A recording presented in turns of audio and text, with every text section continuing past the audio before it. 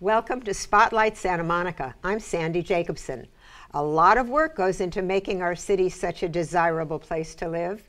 Today, you will meet the people who keep Santa Monica safe, well read, and inspire creativity.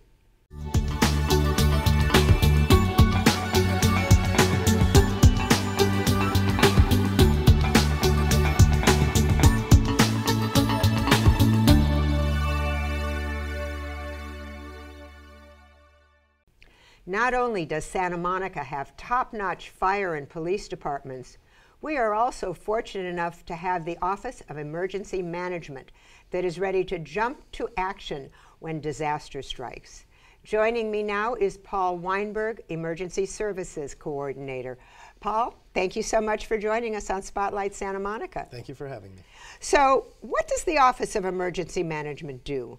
Well, the Office of Emergency Management was created to keep the city that we love, Santa Monica, uh, safe and prepared for an emergency. Um, not only for those who work here, but those who live and play and visit here as well. This is a, a destination city, and we have a responsibility to keep everyone here safe and prepared and ready to be um, responders in an emergency and recover afterwards. An emergency are earthquakes, earthquakes, fires, floods. Fires, floods, everything you think that uh, California has to offer us, in addition to our sunshine. But mainly, yeah. our main goal is um, is earthquake preparedness. That's our number one threat. Okay, and we've had a couple of little shakers. We have. So, what could I do? What can we all do to prepare right now for the next big, big earthquake? Okay, I, I, that's a good point. The the big earthquake. Uh, many of us remember the Northridge earthquake from um, 1994. That was a moderate earthquake. It was that very. was moderate. It was. It was destructive, and it caused lots of property loss in Santa Monica. But what we're preparing for is the real catastrophic event, one that really shuts down our region for a number of days or weeks, if not months. And we want to be able to respond and recover as best we can. And Santa, um, Santa Monica Office of Emergency Management has simplified our message three basic steps have a kit, have a plan, and be informed. And I, I can tell you about all those three steps. And if each of us do that, um, we're going to be in a really good place.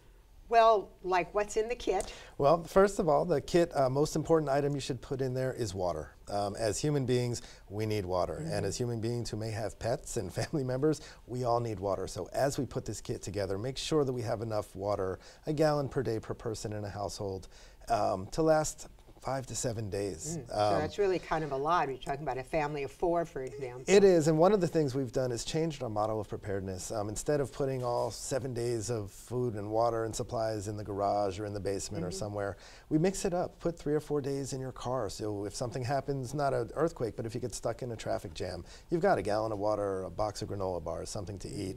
Um, put another gallon or two at work, and then three or four gallons at home. You'll have your seven days wherever you are, and, and you'll need that. But not first thing you can do, um, water, food and water, as well as any special medications. Uh, many of us, you know, have, oh, that's a very good point. Have have things that if we pretend that the pharmacies are closed and the banks are closed, you can't get do, money. That's right. What do we need um, to kind of function until the systems come back online? So that's what goes in your preparedness kit. The second step is a plan. Um, very important, a family emergency plan. And it doesn't have to be a giant binder, a 20 page you know, document that right. you're memorizing. The best thing to do is go home tonight, talk to your family. If the earthquake were to happen today, how are we going to get back together? Um, I work in, in Santa Monica, my wife works in Glendale, we live in Los Angeles. So every day we're spread out throughout LA County, mm -hmm. and at least we have a plan. Who's going to get the kids? Where are we going to meet? If we can't get to our location, do we have an alternate location? Um, that's really the emergency plan. The, the second part about that is contact information. Have your key phone numbers um, written down on a piece of paper. We all use cell phones. We program yeah, in all the information. Mm -hmm none of us remember the numbers that we, you know, probably no. to our own home anymore. It's true. Um, if if you're like that and you don't remember all of our numbers, write them down because you may need to. You may be without your cell phone. Your cell phone may not have power, and I can't think of something more frightening than not being able to reach those I loved because I can't remember their phone number. So yeah. that's part of your plan is just having a number and also texting in a disaster. Um, not while driving, but text. Text an emergency. Don't call um, using the regular telephone because we're going to jam up the lines, and and so mm -hmm. that's that's basically. And texting won't doesn't do that. I mean it doesn't. It's a quick data send, and you're more likely to get information mm -hmm. out and receive it. So that's what goes into your family plan. There were three. Three is be informed. Um, the city has spent a lot of time and energy building out what's called SM Alert. It's our emergency notification and alert system. Um, we have the ability in an emergency to reach every household in Santa Monica with either a phone call, a text message, an email, um, and that's for an emergency that we'll give the uh, people who live, work, and play here the best information of how to take care of themselves. Um, that program is called SM Alerts, and it's So again, it's, it's, have a kit, Kit, have a plan, plan. and be informed. okay. Well, the, the actual title of your organization is CERT, because it has to do with the community. Yes. So how can a person become involved, better involved in the community itself to be, to help in this example? Sure. Terrible Sure. Well, hypothesis. one of the programs that OEM, Office of Emergency Management, started um, in Santa Monica is the CERT program, Community Emergency Response Team. This has been a fantastic development for the city. We've trained over 150 residents in emergency response. It's a free three-day training program um, offered through the Office of Emergency Management and our police and fire departments, and we teach people great skills like how to put out a fire. Everybody who takes the class uses a fire extinguisher, gets to extinguish a fire, how to do some basic. fun. Yeah, it is. Well, that's the one that gets them. We, we, we do that the first day. Do you have to wear bathing suits to do that? No, unfortunately not. We actually have people in nice fire jackets and helmets and goggles and gloves. Um, but everyone gets to do that. We teach some basic disaster first aid. Um, you know, in, in a disaster, the hospitals are going to be overwhelmed. And those with minor cuts and bumps and bruises, we're going to be the first responders, the neighbors. 99% of first responders in big emergencies are, are our neighbors, the people who live next door to us. Uh, we'll go outside, we'll help rescue somebody. It may just be clearing a doorway or clearing debris off of the steps and helping somebody out of their home. Um, we teach all of this in our CERT program. We teach how to lift and carry people safely. We teach the psychology of, of what a disaster can do to us as responders. We teach how to dig somebody out of rubble if they may be there. But it's the, the reason we do it is this CERT team is a, a force multiplier. There are not a lot of fire and police people in town every day. It may seem like it, we all get traffic tickets. That being said, um, we only have 30 firefighters in town a day. Um, there's 90,000 people who live here on a busy summer afternoon. We've got hundreds of 1000s of people here. And the first responders are going to be you and I, the people who are here able to reach uh, our community members. As soon as I stop screaming, right? That's right. Well, that's why we do teach disaster Right. psychology, understanding what our limits are, how to help people. It may just be, um, you know, our CERT program is designed for the entire community. It's not just people who want to be firemen and want to get out and dig through rubble. Um, everybody's got a, a, a use in it, and it may just be offering some some kind words to somebody who's who's seen an, a you know, an, an unpleasant sight. But it's it's really about how do we help this community respond and recover to an emergency. Well, at the end, we're going to talk about your website, but is that how people could find out about getting that training? It is. It is. We have an online forum, and um, our classes have been filled every every class we've had since we started the program 18 months ago. And one of the most rewarding parts about the program is, while the, yes, it's a three-day class and it's about a six-hour day. We have not lost a student yet. And what I mean is, we have 40 who show up day one, all 40 All come 40 back for day two and day three. And that is really rewarding for us because that means not only is it important that we're doing it, but people really are getting a lot out of it Right, for themselves and their family and, and their their, families, friends. and they're all referring friends. Right. And the best part about this program is it's ongoing. So Mm-hmm. while we bring them in and teach them these skills, we use them throughout the year. We use them in our disaster exercises, our drills, the LA Marathon. Every year for the last two years, we've used the CERT team to help the runners as they as they finish this incredible race. So it's it's a benefit it's a for the city. program. Thank you so much, Paul, for telling us about that program and telling us how to be prepared, God forbid. Yes, you're very welcome. Thank you. For more information about those CERT classes we're talking about, please visit smgov.net slash OEM.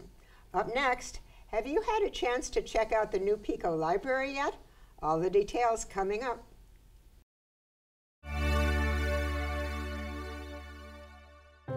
Riding a bicycle can seem like child's play, but only if you're playing indoors.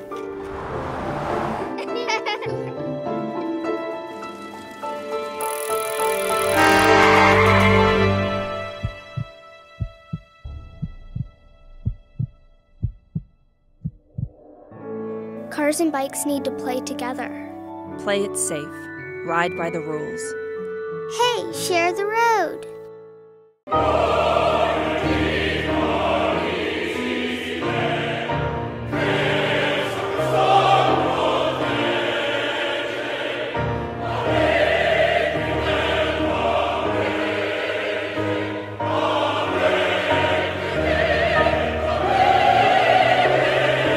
Discover 30 years of opera in Santa Monica. Discover the Verdi Chorus.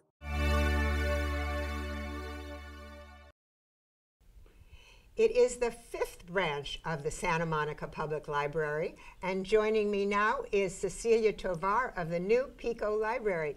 Cecilia, thank you for joining us, Thank you for inviting me. and congratulations on your beautiful new library. Thank you. Tell us about it and about the, your collection. Oh, well, the Pico Library has over 25,000 popular titles, and we have children books, teen books, um, adult books, and also the large print. In addition to that, we have all our e-content, ebooks, audiobooks. It's beautiful. So now on the e-book, I, I would like to, I, I wonder about libraries now that so much of of the printed word is not printed anymore, it's Correct. digital. How do libraries deal with that, or how have you advanced as, as because of that? Well, we definitely are, um, you know, continue uh, going and taking classes and also conferences. We talk about a lot about the digital trend in libraries. We provide classes for the adults. We call it petting zoos. They come, they bring their devices, and we show them how to use them, and how to download a book, how to um, read and I mean uh, listen to an audiobook. We answer all kinds of questions um, about devices and technology. We also offer wi- um, free Wi-Fi in the city. Um, we encourage people to go online and mm, you know make their reservation for books and also to pay their fines. We just want people to, to integrate the technology in their lives, and we want them to see the library as a resource. Do you read online or do you read books? Both. I do read the news online. I do uh, keep up with the social media. It's uh, just one of the big things that libraries also are doing to market their programs. I go onto Facebook, Twitter, and we're constantly announcing our programs. But I also enjoy reading books. in Holding a book in your hand. Yes, definitely. And I, I'm sorry. No, no, please, please. I have a four-year-old, so for Oh. me it's very important to show, uh, you know, Right. a model reading for her. Exactly, and I, I think that reading from a book uh, to a four-year-old is more is better because they can see the picture better and, then they can touch it. Uh, tell us about the layout of this new library. Well, the library, the Pico Library, has a children's section and also has the adult and teen. Uh, we have encountered that is your when you sit down there, you can see outside and experience the Virginia Avenue Park activities. Um, we also have computers for adults. We have for children. And when you walk into the library, the natural light is so nice, and it's just such a uh, nice environment to enjoy reading there.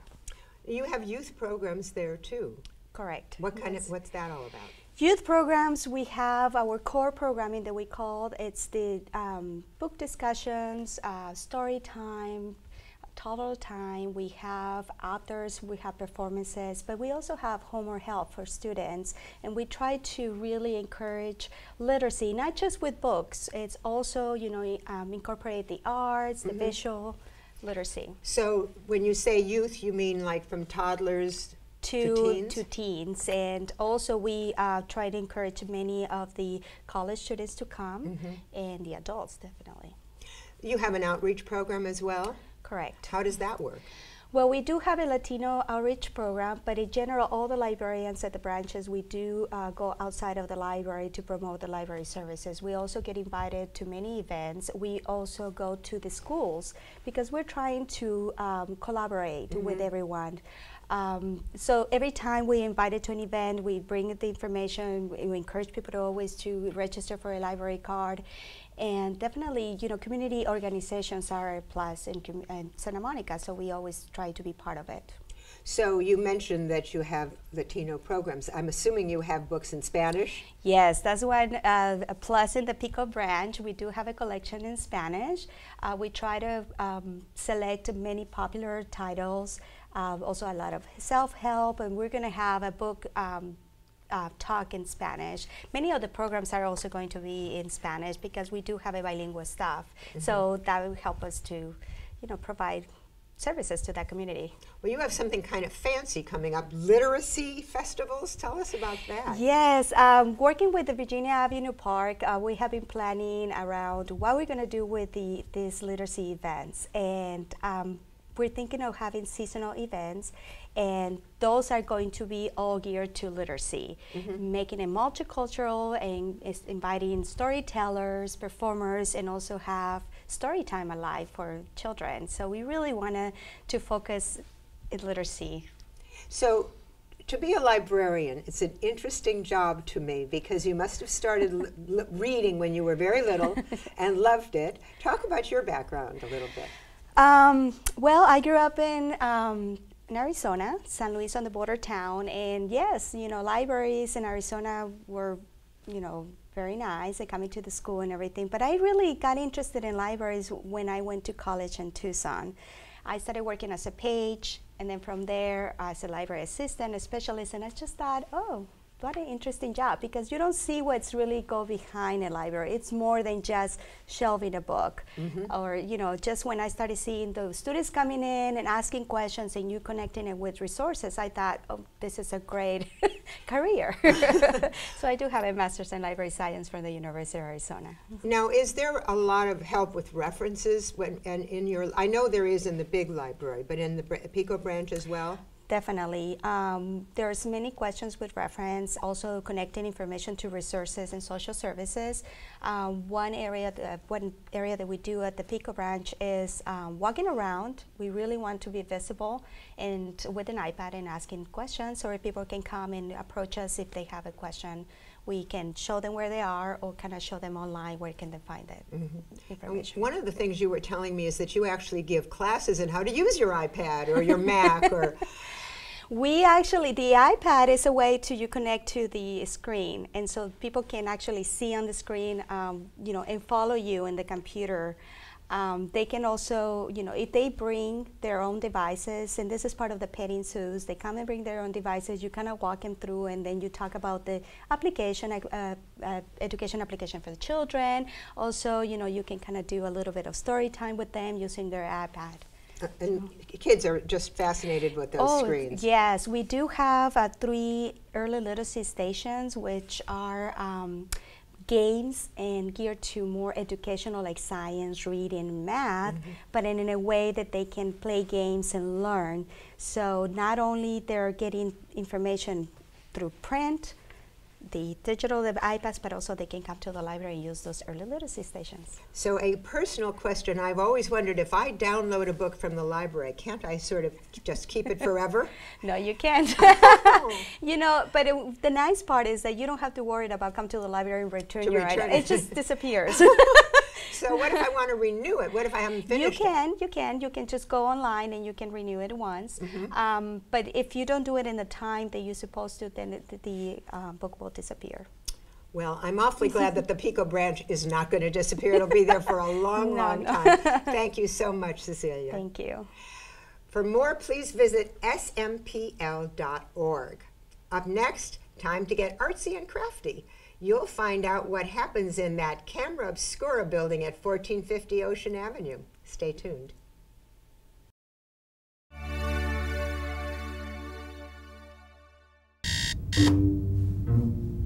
Good morning, sunshine.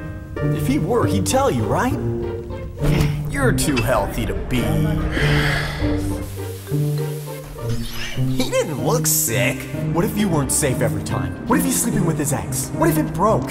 If you are HIV positive, what happens next? You don't have to live with Mr. Doubt. Common Ground offers free testing and care for HIV and STDs, including hepatitis. Just stop by or call us. It's time you know.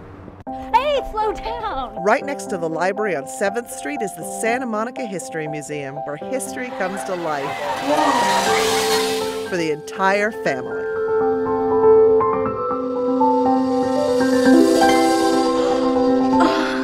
Enjoy the exhibits, main gallery, the photo archive, research gallery, and much more. Come visit the Santa Monica History Museum, keeping history alive. From making amazing photorealistic quilts to making your own jewelry, hat, or sewing project, 1450 Ocean Avenue is the place to let your creativity run wild. Joining me now is Cultural Affairs Supervisor Naomi Okuyama. Naomi, this is amazing. I'm so excited to meet you and see what you guys have been doing. Oh, well, thank you for having me. I've been to 1450 they were doing this when I was there. Tell me what it is. Well, over the past year, we've been slowly building an art lab for adults. So we do crafts of all kinds. We do movement workshops, and we do Wait, fine is that arts. like dancing? Dancing. We have salsa. We uh, did some tango earlier. We have Zumba classes. Uh-huh. There's, okay. it's great. Sorry to interrupt you. but I wanted to be sure what movement was. Yeah, Yes. yeah. Yeah, anything cultural in that Mhm. way.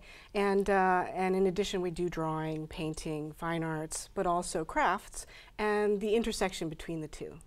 So, talk about crafts. I see hats, knitting, which is what I do. That's of all of this. It's the only thing I can do. These amazing bowls are um, made of felt uh, uh, from Felt. scratch. Felt, uh, felt wool, yeah. Wow, Mhm. how do you do that? It's, a, it's an amazing process. But it's also, I want to back up and say that all of these things anybody can do. Yeah, you right. don't you don't have to have any prior knowledge of any any of these things because all of our classes right now at least are really geared to somebody who's casually interested who says maybe I want to try and make a hat for uh, Easter parade or whatever it is and and go for it and do it. And so, is somebody who's obviously expert in teaching you how to make hats? That's the person who's uh, instructing you how to do that. Yeah, yeah, exactly. And what about supplies? Uh, mostly, they they provide the supplies, and then um, class uh, people who take the class can pay for them. So we Mhm. have some supplies are quite um, quite easy to get a hold of. Wool felt um, is is not too expensive. Hat blanks are a little more expensive. Um, when we come to the jewelry, some of this is copper, some of this is silver. So there's a little variation. So it's there. You just decide how much you, if you, if you want to spend the amount of money that it takes. yeah. So, all right. Is you called this a hat? well, this is a fascinator. So Uh-huh. yeah, it does have a little. It sits on the head here, and uh, you know you Oh, can yeah. kind of So perch it on the head. We got to see that at the royal wedding. Uh, right, That's right. What they were all. And Great. show us this beautiful thing. Well, this is actually an antique, but I did bring it as a um, as a sort of example of this is um, bead weaving. So they have uh, little looms that you can um, put the beads on, and um, yeah, th- this was very popular around the turn of the century. it's um, just beautiful. Is that how old this is? This one is from the 20s, yeah. yeah. And can a person who comes to the class do f- work that fine? yes, definitely, definitely. It takes a while, Uh-huh. but yes. How long are the classes usually? Well, most of our classes are two to four hours. Some Uh-huh. of them, like the hat making, is three hours each day for two days. Uh-huh. Um, like the felt hats, you have to actually let them dry. Um, so you get them all wet, you shape them, you do you put the little uh, curves into them, Mhm. and then they dry, and then you finish them the next day. And that would be the same with something like this? This actually people can take home. They'll still be wet, but it only takes two, three hours to do. It's so cool looking. Isn't great? So, and then this. Talk oh about yeah, that. this was just last Saturday. Actually, we had a woman uh, named Bijo Trimble come and teach us how to do indigo dyeing um, from scratch so using indigo crystals. So indigo is a natural dye, Right. Um, and uh, she does a lot of workshops with all sorts of natural colors. Is this um, where they tie it with rubber bands? and then we did some tie dye with it. Yeah, yeah. So we used rubber bands and rocks and marbles and tied them up, and uh, and then it came out like this.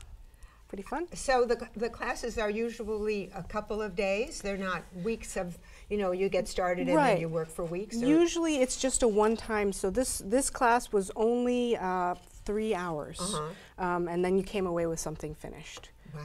So you pay for the supplies? Do you pay for the classes too? Yeah, we pay. Uh, yeah, we have. Uh, we pay our instructors, so we So have a little like what? class fees.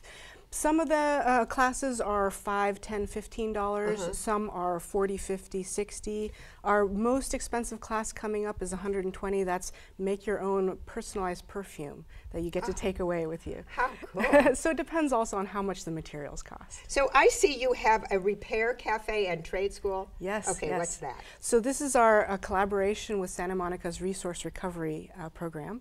We're doing a repair cafe where folks can bring their broken items in and get expert advice on how to fix them and keep things out of the landfill. So we love Oh. this sort of tinkering activity. Yeah. Because you, you, I just was asking how to get a broken printer fixed, and everybody said buy a new one. Right, right. We Can I are in a that to them? disposable society. I, know, yeah, I know. yeah. So could people don't bring printers there, do they? Well, this is our first time, and if somebody did bring a printer in, we might have to scratch our heads a bit because we are also drawing upon the community to bring our experts in. So if Uh-huh. you know how to fix something, we want to see you. how, so where, how do you get your experts?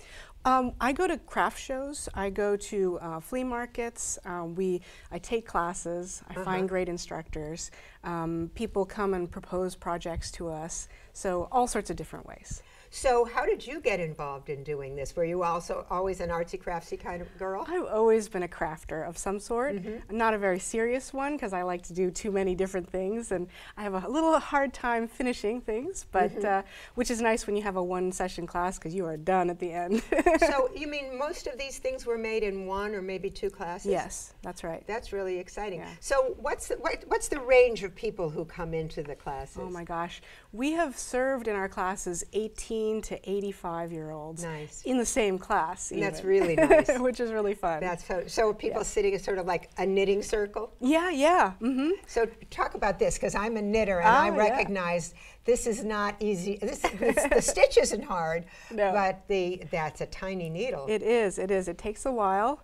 Um, this is a first of two socks. so there's the second sock syndrome where you Yes, know, right. right, get a little bored. But hopefully uh, I will continue with this one. so people can learn how to knit here Mhm. too. Yeah, And we have actually crochet class coming right up. Uh huh. Yeah, yeah. So how do people find out about the classes? Well, we have a city website. That's smgov.net slash 1450ocean. Uh-huh. We also Facebook a whole lot. So there's lots of pictures from our classes and pictures of upcoming classes, facebook.com slash 1450ocean. We have a meetup page. Um, we're on online calendars all over the Mhm. place. And of course, you can stop by, and we always encourage people to come because the camera obscura is so fun. I know it's such a neat thing. Where do we park if we come? Parking, there's a new structure that just opened up on uh, Second Street. That's Oh. uh, structure number six.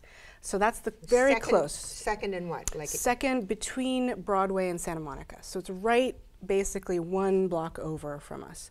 Um, that's a dollar for two and a half hours. Can't Oh, beat it. can't it's really great. that. And then you get to come home with a fascinator. Yes, or, yes. Or this beautiful. be- How long would a, a class to make? Well, we would probably weaving. start with uh, how to set it up, and then you probably have some homework. Oh, so, you c there's something you can take home yeah, with you? probably. This kind of thing, you'd have to do a little bit more work. And out. you'd have to bring your seeing eye dog too. right. Thank you so These, much. though, What? actually is just a one session, and it's Oh. instant gratification. Yeah. Put it in the kiln for three minutes, out it comes, Oh, I love it. and it's done. Oh, that's a great gift idea Yeah. for ourselves, right? Thank you so much, Naomi. This is really exciting. I am loving this. So, for more information, I'm going to run that website past you, smgov.net slash 1450 ocean. Thank you so much for joining us for Spotlight Santa Monica. Join us next time for more of the people and departments that make Santa Monica such an amazing place to live.